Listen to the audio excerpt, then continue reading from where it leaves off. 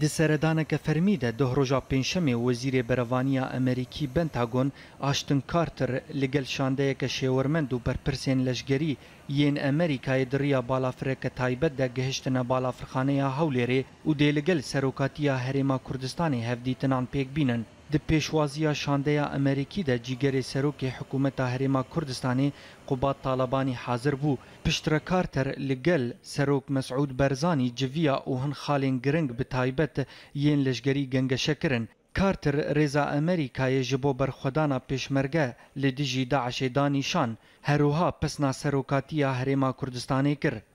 Carter destnîşan kir û got ku divê hemû hêzên leşgerî li cîhanê mêrxaziya şervanên pêşmerge û serkeftinên wan dijî çeteyên rêxistina DAIŞ'ê ya teror ji xwe re bikin nemûne.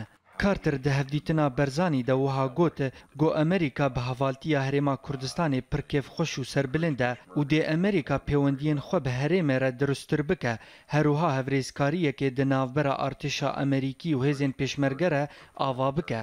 Ji aliyê xwe de Serokê Herêmê Mesûd Berizanî spasiya xwe ji alîkariyên Emerîkî bo hêzên Pêşmerge da diyarkirin û hevrêziya di navbera herêmê û Emerîka de weke serkeftinekê da nîşan. Barzanî ji Carter re got ku ew amade ne da ku şerê DAIŞ'ê di her demê de bikin û diyar kir ku Herêma Kurdistanê ti carî di bin zextê û krîzan de naşke, Herwiha Berzanî doz li Carter kir da ku artêşa Amerîkî û hêzên hevpeymaniyê alîkariyên leşgerî ji hêzên pêşmerge re pêşkêş bikin. Di civînê de cîgerê wezîrê herêmê Qûbat Talabanî li gel serleşgerên pêşmerge Cebar Yawer, Şêrwan Ebdirehman, Cefer Şêx Mistefa beşdar bûn. Hêjaye gotinê ku ev cara duyem e ku Ashton Carter wezîrê berevaniya Amerîkî seredana herêma Kurdistanê dike.